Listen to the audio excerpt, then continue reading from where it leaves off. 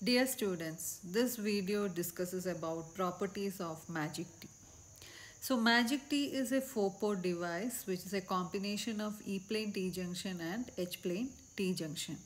So in order to discuss about the properties of Magic T, it is required to know the basic S matrix of Magic T or the basic equation that is from the S matrix we derive the basic equation B is equal to S into A where B is the reflected wave and A is the incident wave. So the general equations for magic T is given by these equations B1, B2, B3, B4. That is there are four ports. So for, for, for the four ports these are the equations. So this can be easily remembered because B1 and B2 means those are related to A3 and A4 and B3 and B4 means it is related to A1 and A2. So first one is always addition and second one is subtraction. So when you consider the properties, first property is let port 1, 2 and 4 be terminated in matched loads and microwave signal applied at port 3.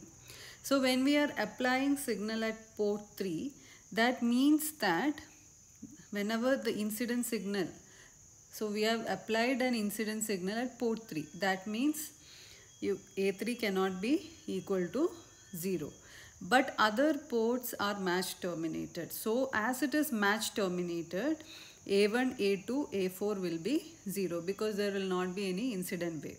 So those will be equal to 0.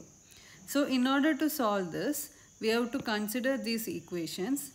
So now A3 is not equal to 0. That means that we can write B1 will be equal to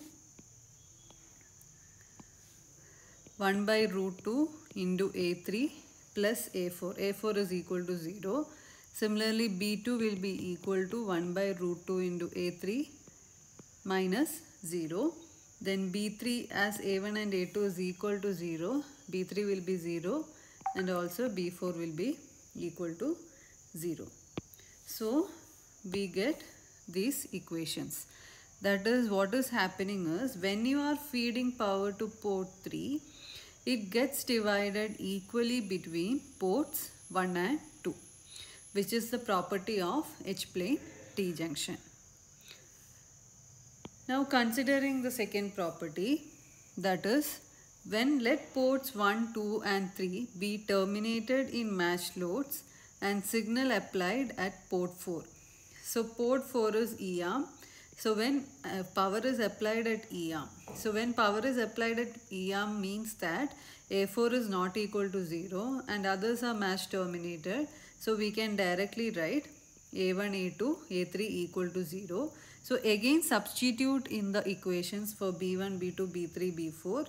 So directly if you find it out, you will obtain similar way you will obtain these equations which is very similar. Only thing is you have a negative over here. So this means that it is property of E-plane T-junction.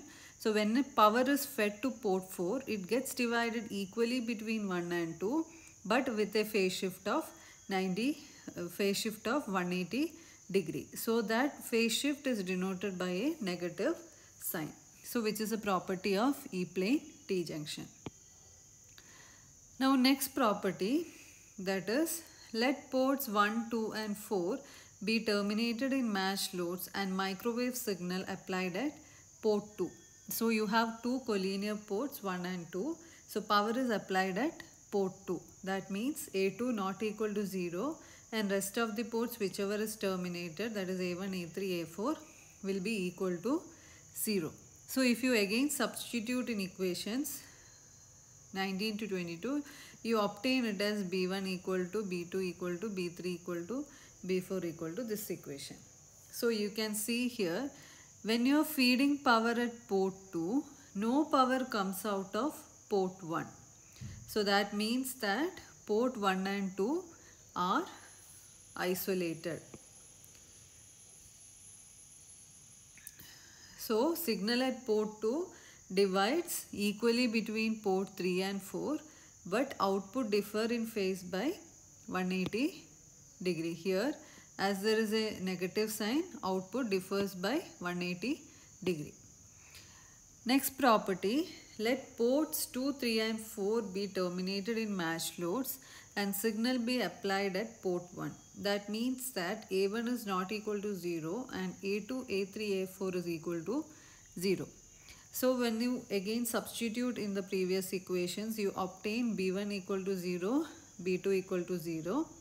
Again, it gets divided equally between port 3 and 4. So we can make out that whenever you are applying power at port 1, no power comes out of port 2 even though those are collinear arms, even though you can see port 2 if you look into port 1, but no, they are completely isolated. So they are also known as isolated ports. They behave as isolated ports.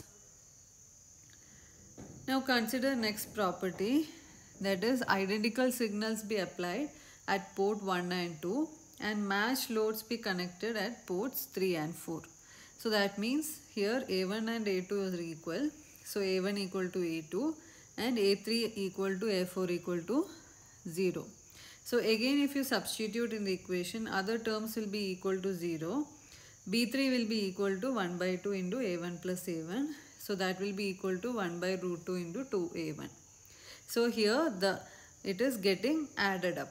So this is additive property with some output at port